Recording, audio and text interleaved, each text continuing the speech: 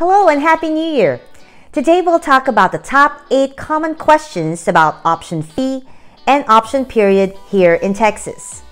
First, what is an option fee or option money? By the way, I'll be using these two terms interchangeably.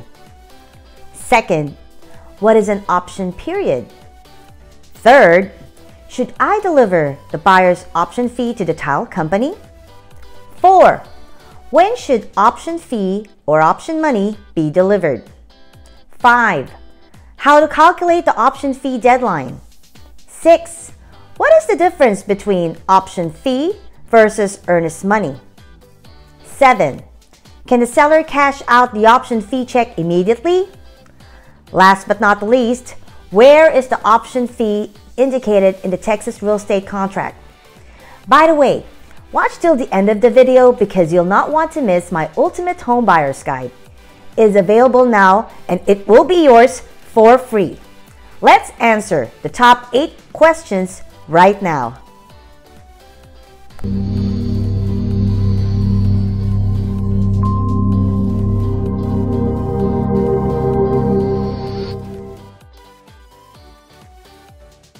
Before anything else, a disclaimer that I'm not an attorney, this video is for informational purposes only and should not be construed or considered as legal advice. Contact your attorney if you have any questions pertaining to your case. So on to our first question. What is option fee or option money? It is a fee or money paid by the buyer to the seller to buy a certain amount of time in order to do their due diligence. Example, home inspection. Take note, this fee is payable to the seller and is non-refundable if the buyer decides to terminate. As long as it is indicated in the contract, it can be credited to the buyer if the buyer decides to continue. It is critical to work with an experienced buyer's agent to make sure that this part of the contract is completed. Second, what is an option period? If you notice, when you see a listing that has a status of OP, it means option pending. It is the same as option period wherein the option fee was paid to the seller, changing the status from active to OP. It is also a specified number of days where the buyer has the option and or unrestricted right to terminate. Obviously, the longer the option period, it's an advantage to the buyer rather than the seller. But the higher the option fee, it's an advantage to the seller rather than the buyer. Number three, should I deliver the buyer's option fee to the title company? Actually, the answer to this question is a big no.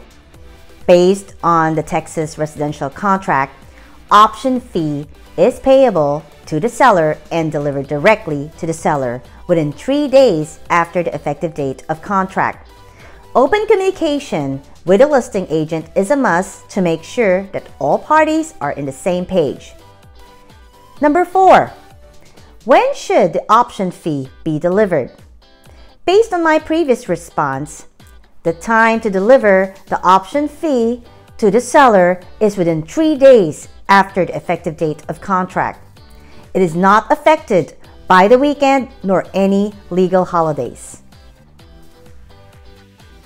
How to calculate the option fee deadline. Let's say both parties sign January 1st. This date is now called the effective date. Let's say the buyer paid the seller an option money or fee of $100 for 10 days.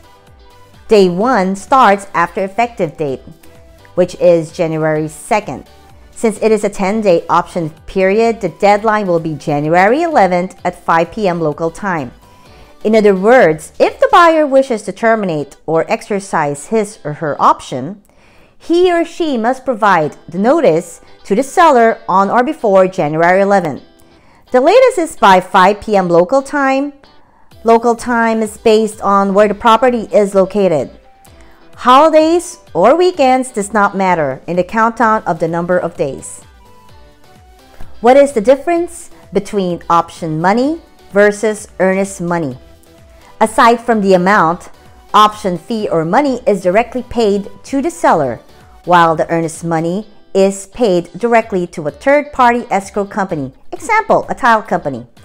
To learn more about what an earnest money is, click the informational card above. I've included a video explaining earnest money. 7. Can the seller cash out the option fee check immediately? The answer to this question is yes. The seller can cash out the option fee check immediately. The seller is giving the buyer the freedom to terminate and to do their due diligence. So when the buyer decides to move forward, a buyer's agent should make sure that this fee is credited to the buyer at closing by indicating it in the contract. Last but not least, where is the option fee indicated in the Texas real estate contract? I've included a snapshot picture of the contract, particularly showing paragraph 23. I put a red circle mark on the area where it shows option fee is credited. This part should be checked in order to get a credit of the option fee that you paid to the seller should you decide to move forward or continue with the purchase. I hope you enjoyed the video and have learned a lot about option fee, option money, and option period. To be part of my insider real estate tips and secrets, be sure to hit the subscribe button and the notification bell.